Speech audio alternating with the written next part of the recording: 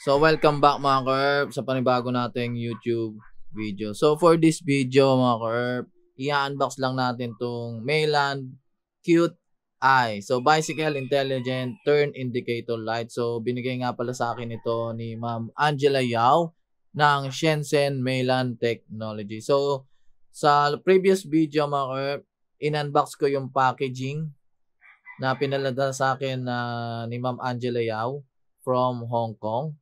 So, ngayong video na to, i-unbox naman natin tong Maylan Cute Eye. So, gandang-ganda ako dito mga curve. Kita nyo naman. So, bago yon syempre, yung harapan natin, may makikita tayo dito. Ito yung pinaka-ilaw niya. Tapos, meron tayo dito yung pinaka-remote. Ayan. Syempre, dito yung mga function niya. So, meron tayo remote control, smart turn indicator, kaya siya nagte-turn light. So, nag-turn siya left and right. So, signal light ito. Then, Bluetooth capable 4.0. Red, yellow, dual color LED. Multiple lightning modes. Kung hindi ako nagkakamali mga ka 7 mode ang ilaw nito. Safety ground line. Ayan. So, meron siyang uh, laser. Meron siyang ilaw na pinoproject para makita sa sahig. Ang ganda nito mga ka Additional uh, visibility para sa ating mga bikers tuwing gabi. Smart brake warning detection. Ito, iilaw to kapag pepreno ka. IPX6 waterproof, so pwede siyang mabasa.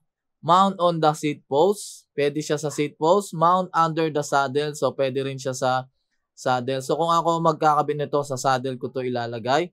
USB rechargeable, ito pinaka the best mga curve. Type C na siya. So pwedeng baliktaran. And syempre 2,500 mAh na capacity. So matagal-tagal ninyo magagamit ito bago malobat. So ito yung mga specification niya mga work. Yan. So 5 volts, 500 mAh type C. Luminance niya is 9, 90 lumens. So nasabi ko na sa inyo to. Yung tail light niya mga curve is 18650 lithium battery. So yun yung loob. Yan. Tapos yung remote control niya CR2032. So kamukha ng baterya sa uh, computer. Tapos ito yon Yan. So kung hindi ako nagkakamali dito sa GPS, pag sinabi ng GPS na 10 meter, turn right, magta-turn right to. Ayan o, iilaw siya kusa.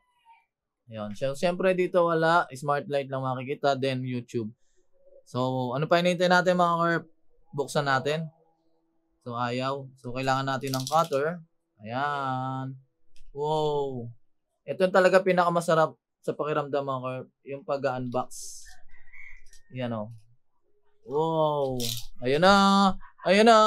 Ayan na. Eh. Wow. Ang ganda mga ka-herb. So, dalawa ang makikita natin dito. Isa yung remote. Tanggalin natin yung remote. Ayan. So, ito yung left, right. Ito yung mode. Tapos, ito yung, uh, yung ano, yung signal. Ayan yung bar sa likuran. So, makikita mo to sa sahig. Yan. Tapos yung remote, tabi natin yung remote. Then, syempre, yung pinaka uh, tail light natin. Uy, ang laki. Mga ka-erp, oh. Ang laki talaga niya, promise. You know? Oh. Syempre, type C. Kagaya ng sinabi ko kanina. Nakibasa natin sa function. Ayan. Tapos, meron siyang rubber cap. Tapos, ito yung pinagtuturnilyohan. Ito yung laser. So, ito yung magpo-project ng laser sa sahig. Tapos, ito yung pinaka-ilaw. So, medyo may kabigatan siya mga curve. Yan, mga nasa 200 to 200 grams ito. Ayan. Siyempre, meron pa tayo rito. Ano pa bang makikita natin dito? Ito yung sa saddle. Ito yung mount para sa saddle. Ito yung mount para sa cute eye. Tapos, meron pa tayo ditong mount. Ah, seat post pala to mga curve mount para sa seat post. Tapos, ito, mount para sa saddle naman ito. Yan, papakita ko sa inyo kung paano magkabit niya mga kaya. Tapos, meron tayo ditong rubber. Ay, dumikit. Yun, no. Yan. So, palagay ko para dito to. Yan. Tapos, ito para sa remote. Yan. Yan, yan. Ikakabit natin dito yan. Yun, no. Paano? Yan. Tapos, syempre, meron tayong O-ring para ipang lock dito. Ayan. para sa ating manibela. Sa manibela kasi natin nilalagay ito. Siyempre, meron tayong USB Type-C na charging cable. Tapos meron tayong extra ano to, tornilyo. Yan, meron tayong extra. Siyempre, hindi mawala ang manual. Yun. So, andito lahat ng pwede nating malaman. So, meron siya, eh, hindi nga lang siya English, mga ka-ERP. Hanap tayo ng English. Ayan. So, yun ang laman ng kahon, mga ka-ERP. Yan, ang ganda mga ka-ERP. Oh. So, buksan natin. Steady natin. Yan. So, ayun yung ilaw natin mga ka-ERP. Yan. So, breathing. Breathing yan, breathing. Tapos, ayan, running light.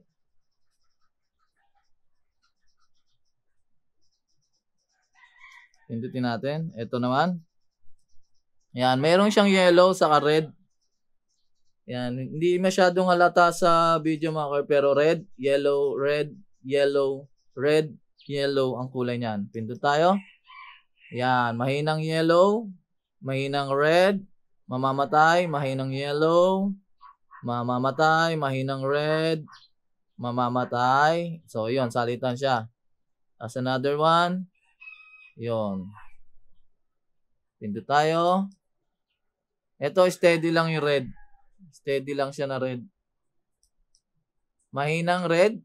Steady. Tapos blinking red. Tapos, tingnan natin. Breathing na red. Ayan, breathing. Tapos, running light na red. Yellow, red, yellow, red, yellow, red. Salitan sila. Ayan. Ito, palitan naman. So, tingnan natin sa remote. Tingnan natin. So, ito yung mode. Yan, napalitan na mga curve. Red, yellow, red, yellow. Yan. Red. Steady red na lang to mga curve. Steady red. Mahinang red, steady. Ayan, napipinipindot ko na mga curve. Ayan, blinking red. Red lang na breathing. Tapos red na running light. Yan, red, yellow, red, yellow, red, yellow, yellow, red, yellow, red, steady red. Yan. So, tingnan natin yung turn. Turn tayo left turn. Yan. Oh, lumiliko na tayo sa kaliwa mga curve. Yan yung lumiliko ng kaliwa. Turn right naman tayo, turn right. Turn right. Liko sa kanan. No. Di ba ang ganda mga curve oh. Oh. Ayos, panalo. Hmm. Tapos, tingnan natin tong laser. Laser guided. Ayan, nakikita niyo ba mga curve sa video? Ayan. Pakita natin. Nakikita niyo, yun o, yung red o. Yun o, red. Ayan. So, yun yung makikita natin sa gabi. So, yung laser red na yun. So, makikita ka sa kalsada, additional visibility kasi to. So, tanggalin natin yung laser. Yan. Steady. Tapos blinking. So, mayroon siyang dalawang mode para sa laser. Steady sa blinking. Ayan o. Off. Tapos, steady laser, steady blinking. Di ba? So, steady natin, tapos pili tayo ng mode. Yan. So, siguro ang pipiliin ko, mga curve, yung blinking, blinking red. Tapos, steady na, steady na laser. Yan. So, ang ganda nito, mga curve. No, di ba? So, sa pagkabit naman ng steady natin para mamatay. So, ayan mga curve. So, i-mount natin tong ating uh, seat post mount dito sa ating uh, tail light. So, ito lang. Saka mayroon yan tatlong ano, join. Ito. Isa, dalawa, tatlo. Isa, dalawa, tatlo. So, pasok nyo lang. Hindi kayo mababaliktad dyan. Yan. Okay. Yun. Pag nadinig nyo yung click, lock nyo lang to. So, secure na secure na siya. Yan. O, di ba? Hmm. So, sa pagtanggal naman, mga curve, reverse lang natin yung process kanina sa pagkabit. Luluwagan lang natin to. Luwag. Tapos, press nyo lang to. Press. Tapos, ata, yun. Pumapasok kasi yun eh, kaya nahirapan tayo. So, dapat palaging nakababa to. So, dapat pala nakaganyan siya. Yan, para hindi maangat. So, mga karp, ito pakita ko sa inyo kung paano gagamitin natin yung ating uh, saddle mount. Ito kasi eh, seat post mount. So, syempre, kailangan ilagay natin yung dalawang tornilyo. Isa, dalawa. Tapos, syempre, sa kabila naman, ito. Sa kabila. Skulan tayo ng screw. Yan. So, ito yung ipanglalak natin doon sa bakal ng ating uh, saddle. Tapos, tatanggalin natin to. Ito kasi sa ano eh, seat post. Tanggalin natin yan. Then, ililipat natin siya dito. Yan. So itong go itong brass plated na bakal sa baba. Tapos itong tornilyo sa taas. So ganun ulit, lalagay lang natin tornilyo. Kung sa mapapansin niyo mga curve, meron siyang ngipin sa loob. So doon maglalakyan. Yan. Kasi iano niyo kung nakaganyan, nakaganon, nakaganon. So bahala kayo. Ako gusto ko 180 degree. So nawala yung tornilyo. Lagay lang natin dito. So tapos saka natin kakabit to. Yan.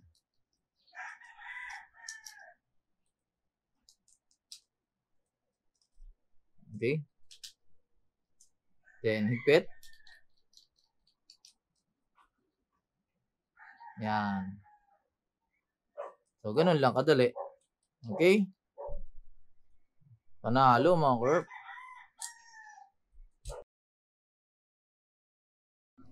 So, ayan mga curve. Kakabit na natin tong ating seat post clamp. Saka itong ating cute eye dito sa ating cute eye mount. Yan. So, unang-una, syempre, kailangan tanggalin natin itong tornilyo. Yon. And kunin natin yung goma na kasama sa package. Ito yan. Para hindi dumulas ang ating seat post mount na lilito tayo. Yan, seat post ba o saddle? Ayan, seat post. Yon. Dan, dan, then, then, tuturnilyo natin siya. Ayan. So, pag naturnilyo mo na, pwede mo nang ilagay si cute eye. Yan. So, pasok mo lang. Hmm. Pag may nadinig kang click, yun na yun. Tapos higpitan mo itong tornilyo sa ilalim. Yun. O, di ba? Okay na. Nakikita nyo ba mga curve? Yan, pasok nyo lang. Para lang kayo nag lagay ng saddle. So, nakita niyo mga kerp? So, ulitin ko. So, pasok mo lang dito.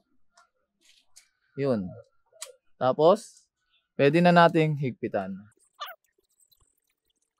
So, pag nahigpitan nyo na mga kerp, pwede na nating ilagay ang ating cute eye. Ayan. So, tamang-tama talaga ang pangalan niya. Cute eye. Napaka-cute. Yun. Then lock. Okay, ang ganda mga curve. So ayan na siya mga curve pag nasa saddle. Ganyan na itsura niya oh. Yan. Okay, ang ganda oh. Oh, di ba? Oh. Panalo. So ayan mga curve, ang ating unboxing ng Melan Cute Eye. So napakaganda nito mga curve. So tamang tama talaga ito sa mga bumabiyahe ng gabi dyan. Kitang-kita kayo dito. Di ba? Napaka-safe ng ating biyahe. So, ilalagay ko na lang sa description kung saan kayo pwedeng makabili nito at paano nyo makokontakt si Ma'am Angela Yao. So, hanggang dito na lang mga ka-herb. Siyempre, huwag kalimutan pindutin ang subscribe button para updated kayo sa mga susunod na atin na video. So, meron pa tayong tatlong i-unbox na galing Mayland. Ang C5 heart rate monitor, C1 speed and cadence sensor. Siyempre, ang main event ay ang kanilang uh, Mayland Finder GPS bike computer. O, di ba? Panalo. So, hanggang dito na lang mga herb. Maraming salamat sa panonood. Kita-kits tayo sa susunod na video. Maraming salamat. Bye-bye.